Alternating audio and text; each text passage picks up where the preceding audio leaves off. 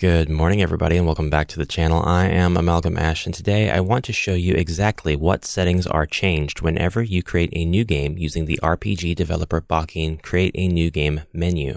Whenever you step through the options in this menu, you are creating your very first project file. But what each page of this menu actually does is change certain settings in that project file that you can change back to whatever you wish after you've created your game, without having to come back to this wizard. After I show you the parameters, you'll be able to take a game that you made using, say, the camera settings of player central view and change that to one of using the player rear view, first person view, side view, or any of the others. And you'll be able to change your operation method from top view operation to tank controls to side view operation or vice versa. So to start, here's project basics, and this is where you can change or set your game title, subtitle, and creator. To change these settings after we have made our game, you can just go to Game Definition under Master Menu on the left hand side of the screen. Click that and then click on the Project Settings menu. From here, you can change the title, subtitle, and nickname under Project Information. It's worth knowing that you can also add a copyright notice and a description of your game, as well as change the version of your game here. This is just for informational purposes to the user.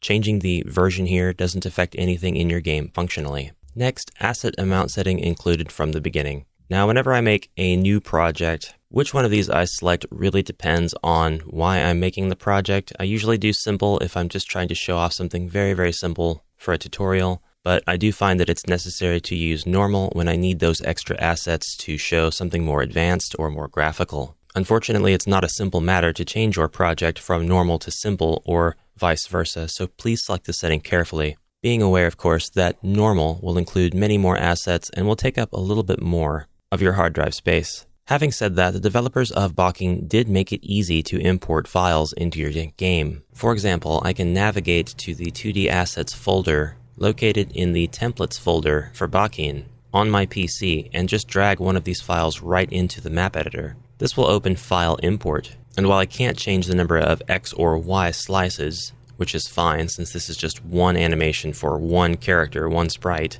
I can change the X and Y slice dimensions, the name, the scale. I can set the billboard type, select between the motion names, change the display time for animation, select the playback loop type, and whether or not to use sRGB. If you try to do it with Effekseer files or .efks, it will actually import and display right on the map during runtime of the engine. There. Did you see the slash animation? Slash. Those animations in particular do not loop, but if they did, they would be looping on the map. And of course, you can set them to loop. You can also use this to drag 3D objects onto your map. You can change the shape of the collision during the file import process, placement of collision, scale of the collision, and you can check the box for same settings hereafter to make additional file imports streamlined. This is just one way of importing assets into Bakin. Okay, so next is the player settings for main cast. If you have just flown through the wizard, you may not have a sprite for your character for moving or a graphic for the layout. And this is very easy to correct. We can see that there is no sprite on top of my start marker.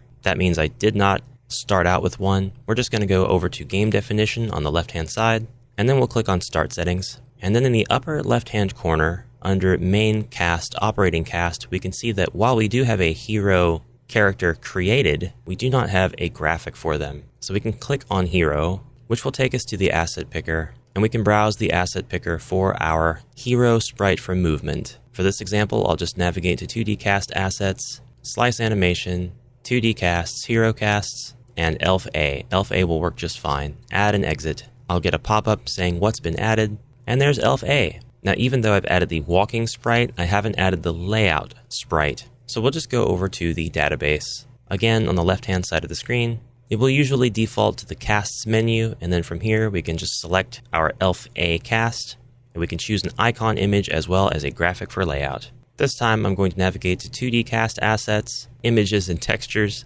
2D casts, hero casts, and then the elf A folder, which has its own four layouts folder and that's where I'll select this handsome portrait for my elf. We'll just click add and exit in the bottom right, get our prompt, and this is what we could have started out with if we'd chosen these settings at the beginning of project creation. You can also change the name of the hero here at the bottom of the screen during project creation, and of course that can be changed in the database menu as well. Just click on the cast that you need to change the name of and change their name here, right under name in the upper left hand corner of this pane. All right, next comes an exciting part camera settings. If you chose Player Central View, your game's camera will look like this by default. Player Central View determines the starting position of the camera's X, Y, and Z position in relation to its target as well as its rotation. This can be changed, of course, during test play by holding down the right mouse button and dragging, using the R and F keys on your keyboard to adjust pitch,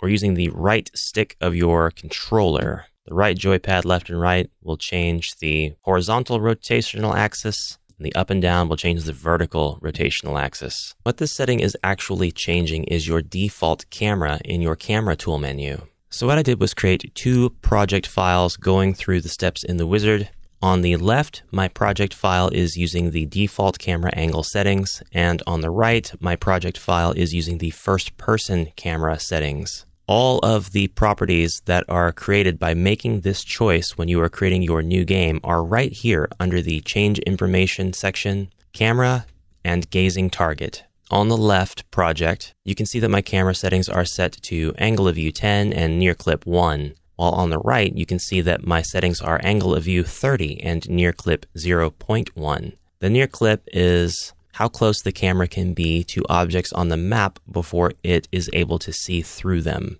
So we can actually raise this number right here on the first person project. And once we get to 0.6, we can see through the player. Now it's sort of a real first person view that's being simulated, not us looking at our sprite. But I'll change that back. On the left project, our position X, Y, and Z values are set to 0, 14.14, and 16.85, while on the right, the X, Y, Z are almost all set to 0. We've got 0.03, position Y is just set to 0, and position Z is set to 0.59. There is some precision after that, but I don't think it matters too much. For the project on the left, our camera's angle X is set to negative 40 and angle Y is set to 0. While on the project to the right, the first person mode, camera angle X is set to 0 and angle Y is set to 3. Now, the only thing that's actually changed under our gazing target settings is the offset Y. That's 0.6 for the overhead camera and it's 0.9 for the first person camera.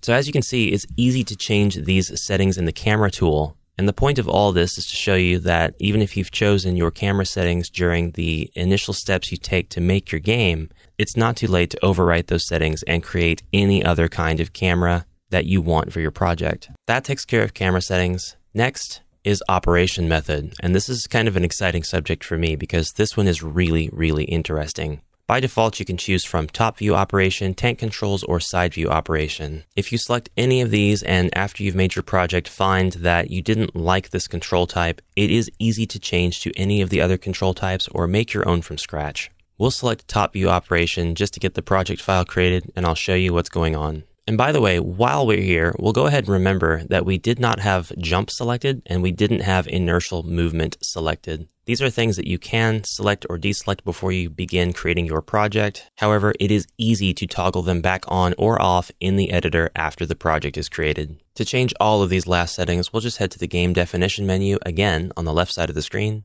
and we'll go to the rules and operations menu. This is going to be one of the most useful menus that you can navigate to after you've created your game. I've just adjusted some of the sizes of the panes to make everything more readable. But right here in the center of the screen, at the top under Operation, you can choose between Basic Operation and Tank Controls. If you toggle one off, the other one will toggle on. With Tank Control on, you can adjust your steering speed. Under Camera Operation, you can choose to disable camera operation, get behind player automatically, and tell the camera to dodge obstacles. Under the Movement and Inertia menu, you can enable or disable use inertia to move. This is the inertia setting in the game creation menu.